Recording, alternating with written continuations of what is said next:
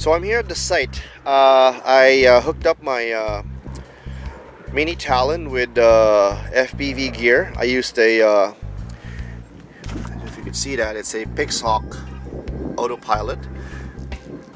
And uh, this autopilot requires a separate OSD, so I've used a Mavlink OSD, which I got, I think, from RC Timer. I can't remember, but it's a Mavlink OSD, and uh, I had to install Minim OSD Extra. took me quite a few nights of fiddling around because uh, it requires a, a firmware that matches a certain configuration tool in order for me to get a proper OSD overlay. So that uh, that required quite a bit of work. Uh, the Pixhawk, you know, you use Mission Planner to set up your settings and everything. It's it's quite a learning curve compared to uh, the other to learn how to configure this compared to the other uh, AP OSDs I've used in the past, like the Vector, the MFD, the Cyclops Storm Tornado. This plane was also equipped with a. Let me zoom that in. I don't know if you can see that, I can see from the screen, but it's a Hawkeye DTF uh, UHF uh, long range system. It is a open source running Open LRS, and uh, this is the transmitter. It's rated 1 watt, although I uh, really didn't get a chance to confirm that. I don't have the gear to to test its uh, output power, but I've been using it for a while. I've moved this from uh, one airframe started with a Bixler. I think I moved this in a Phantom as well. And uh, yeah, I'm getting really good range with even with uh, just you know this diamond uh, SH uh, SRH 771 antenna. So yeah, I'm uh, I'm basically using this for my planes for for quite a few months now. Now uh, this plane also this is the first time I've used a Lawmate uh, VTX. Highly recommended by a friend of mine that I go fly FPV. And uh, yeah, I'm, I'm, I'm very happy with, uh, with, with the performance of this VTX. So that's a blue beam omnidirectional antenna from uh, IB Crazy and uh, the GPS unit this one is separate. I didn't buy this uh, from 3DR this was uh, from eBay. And uh, yeah I'm getting uh, 16 17 uh, satellites when the plane was up in the air and at the ground and in less than 30 seconds I get a lock at 8 satellites. So I was uh, was pretty impressed with that for I think it was just $37 uh, what else this plane is equipped with a uh, this is the first time I've used this type of motors it's a Parkfly 480 910 kV. I like the performance. It actually can really push the plane fast, uh, drawing uh, I don't know, 3 3.7 3.8 amps, cruising at uh, an average of 50 kilometers per hour. So yeah, that's uh, that's very efficient. Now you know, of course, headwind it will it will, will pull more amps.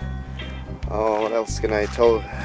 This is a homemade uh, dipole uh, antenna and uh, this has been the configuration I've been using uh, on all my uh, FPV planes basically the, the, the, the 433 antenna is on the wings this was just closer because I think this is a stock antenna that came with my Rangelink so I don't want to solder a new coaxial cable and build a new one to put it here on the tip so I just and it works. Uh, you know, my my RSSI for uh, for this flight uh, is very decent, though, but I haven't really pushed it that far. This this this flight is more of a uh, endurance uh, endurance test. So, anyways, this is uh this is my mini Talon uh, equipped with uh, FPV gear, and uh, I'll uh, the next part of the video will be uh, the actual flight. I uh, was able to fly my uh, mini Talon earlier uh, today. Um, I basically wanted to get a feel of the different flight modes that I've configured on a Pixhawk. I have a manual, uh, fly-by-wire A, cruise, and return to launch. So I chose those flight modes because coming from a Eagle Tree Vector, I'm, I'm, I'm pretty familiar with those flight modes. So I just basically use the same flight mode so manual manual. Fly by wire A is uh, I would say 2D on uh, the vector or uh, said pilot pilot assist on a Cyclops Tornado uh, autopilot. Cruise would be 2D uh, hold on a on a vector autopilot.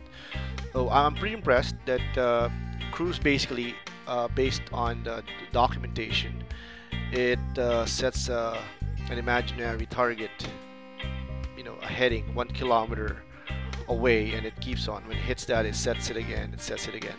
And uh, it will hold the altitude that uh, the plane was on when you switch to uh, cruise mode. Uh, I would say I'm, I'm pretty impressed. It's very this is stock I would say configuration out of box. This I mean um, default I didn't change any gain settings in the Pixhawk uh, through the mission planner. I just uh, adjusted uh, the return to return to launch uh, altitude. Basically the, uh, the altitude that uh, the plane will follow heading back to, home when you switch to that flight mode. And the radius. So I set it at 100 and 100 so radius of 100 from point of home and it circles around.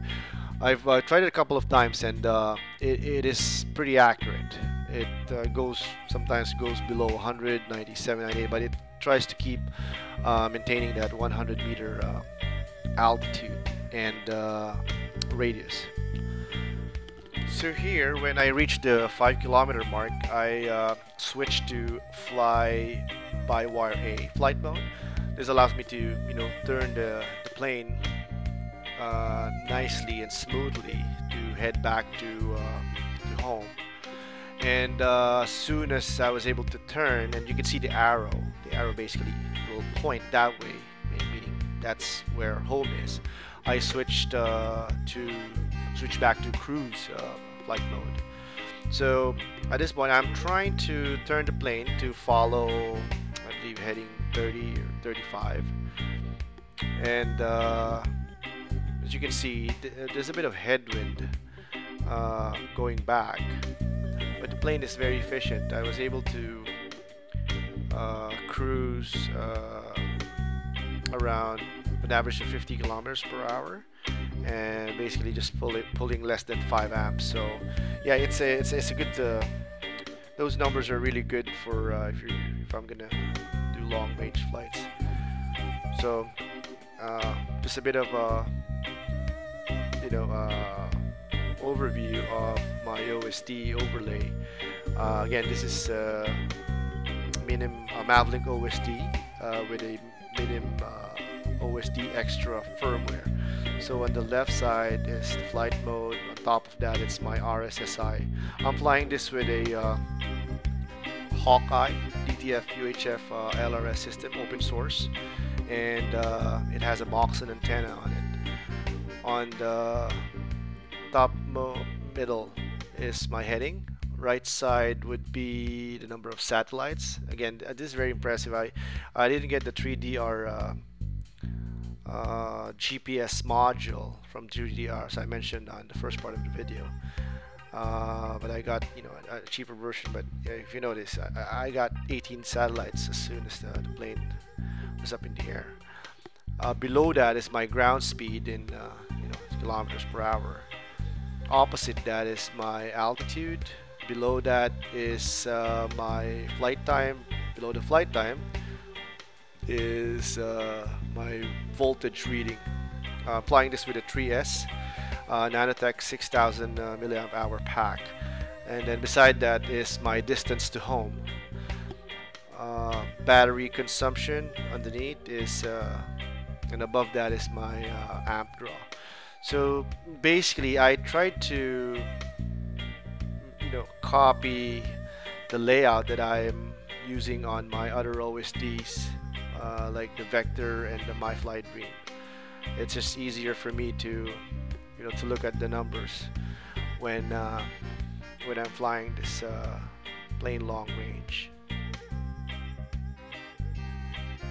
At around 350 uh, meters from home, I switched to uh, return to launch flight mode. And uh, if you notice on the left side of the screen, the altitude reading, the plane is diving. It's trying to dive and hit its uh, set return to launch altitude. In my case, I set it 100 meters.